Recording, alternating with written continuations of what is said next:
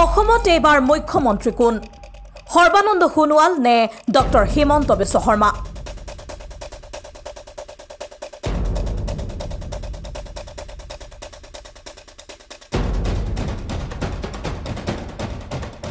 আজি সিদ্ধান্ত হোৱাৰ সম্ভাৱনা। আহি আছে তুমৰ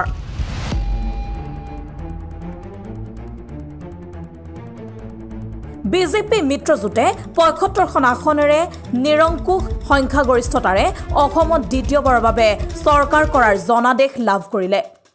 ইয়াৰ পিছত আৰম্ভ হৈছে মুখ্যমন্ত্ৰীৰ আসনত বহাৰ হিচাপ নিকাচ।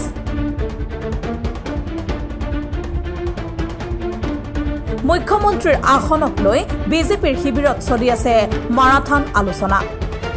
সৰ্বানন্দ সোণোৱাল নে ডক্টৰ হিমন্ত বিশ্ব শৰ্মা?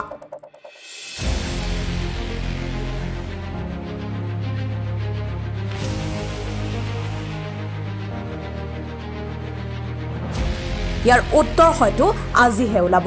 কাৰণ আজি অসমলৈ আহি আছে বিজেপি দলৰ কেন্দ্ৰীয় পৰ্যবেক্ষক নৰেন্দ্ৰ সিং টোমৰ।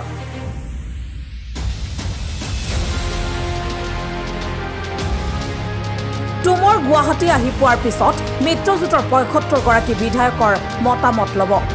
নৱ নিৰ্বাচিত বিধায়কসকলৰ মতামত গ্ৰহণ কৰি দিল্লীত দাখিল কৰিব কেন্দ্ৰীয় পৰ্যবেক্ষক টোমৰে। ইতিমধ্যে ডক্টৰ হিমন্ত বিশ্ব শৰ্মাৰ গুৱাহাটীৰ মন্ত্ৰীৰ আৱাসত দেওবাৰৰ নিশাৰ পৰাই বহিছে বৈঠক। নৱ নিৰ্বাচিত বিধায়কসকলৰ এটা শিবিৰে ডক্টৰ হিমন্ত বিশ্ব শৰ্মাৰ কাষ চাপিছে। দুহেজাৰ ষোল্ল চনত মুখ্যমন্ত্ৰীৰূপে দায়িত্ব লোৱা সৰ্বানন্দ সোণোৱালৰ বিপৰীতে মুখ্যমন্ত্ৰীৰ প্ৰাৰ্থীৰূপে চৰ্চালৈ আহিছে মন্ত্ৰী হিমন্ত বিশ্ব শৰ্মাৰ নাম। শেহতীয়া ৰাজনৈতিক প্ৰেক্ষাপট কিছু সলনি হৈছে। নৱ নিৰ্বাচিত বিধায়কসকলৰ কুচকাৱাজ লক্ষ্য কৰিলে দেখা যায় যে এইবাৰ হিমন্ত বিশ্ব শৰ্মাৰ পক্ষতে কিছু বিজেপি আৰু মিত্ৰজোঁটৰ নৱ নিৰ্বাচিত বিধায়ক আছে।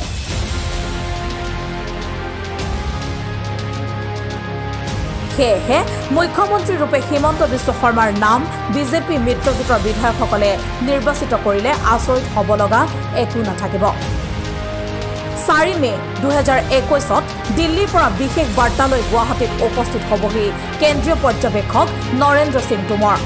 এই নেতাগৰাকীয়ে বিজেপিৰ মিত্ৰজোঁটৰ নৱ নিৰ্বাচিত বিধায়কসকলৰ মতামতৰ আধাৰত নতুন নেতাৰ নাম বিজেপি সংসদীয় কমিটিলৈ প্ৰেৰণ কৰিব। অৱশ্যে বিজেপিৰ কেন্দ্ৰীয় নেতৃত্বই নিজাকৈ বিধায়িনী দলৰ নেতা নিৰ্বাচিত কৰি নতুন বিধায়কসকলৰ মতামত গ্ৰহণ কৰিবও পাৰে।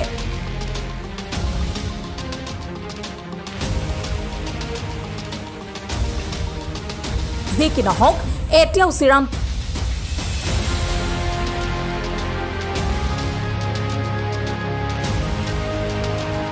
যি কি নহওক এতিয়াও চূড়ান্ত নহয় কোন হ'ব মুখ্যমন্ত্ৰী সৰ্বানন্দ সোণোৱাল নে ডক্টৰ হিমন্ত বিশ্ব শৰ্মা আমি আপোনালোকক সময়ে সময়ে জনাই যাম সবিশেষ খবৰ অসমৰ ৰাইজে এইবাৰ কাক মুখ্যমন্ত্ৰী হিচাপে পাব বিচাৰে আপোনালোকেও আমাৰ কমেণ্ট বক্সত নিজ মতামত দিব পাৰে।